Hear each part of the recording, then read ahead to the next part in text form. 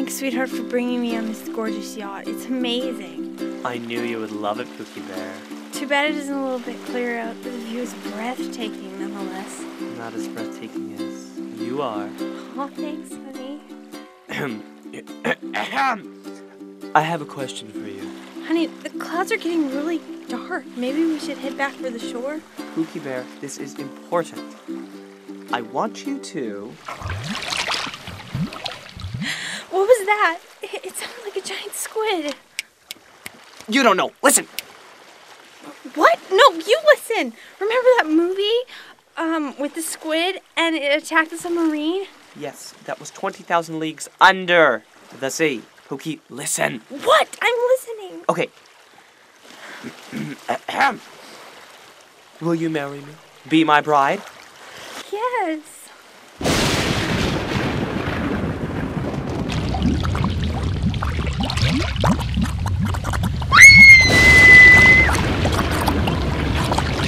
Jill!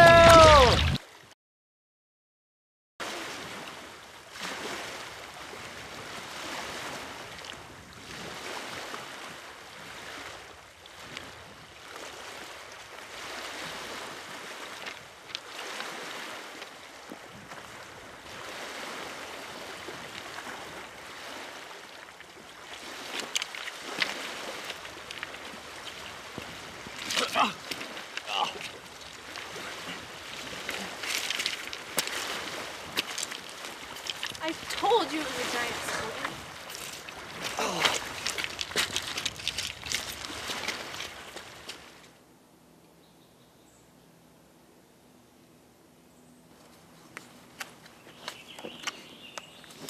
Pookie, I'm gonna go look for food or civilization.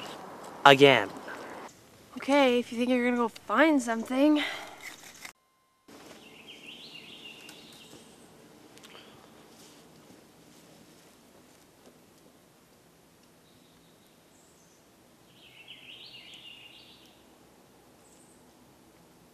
Holy crap. A fork! Uh, what do I do? Maybe this is a sign from God. I'm starving. What am I supposed to do? Eat Jill? No! I love her. But I haven't had meat for weeks. Or potatoes. Or liver. Or mama soup. Oh, bellissimo. Oh, steak! I really want steak! A nice raw. Jill! Ah! No, steak! Steak! The Japanese eat raw meat all the time. Maybe just a little bite won't hurt her.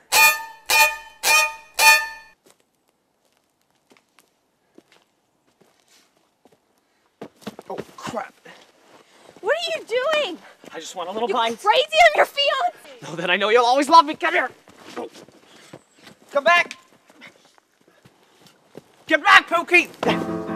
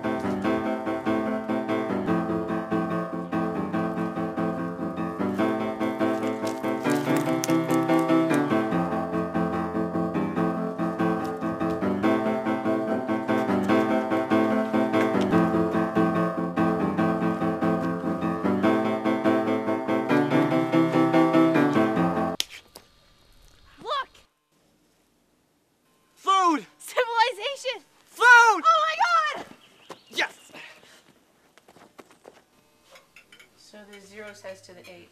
Nice belt. I love it. You know, I went down to the market today.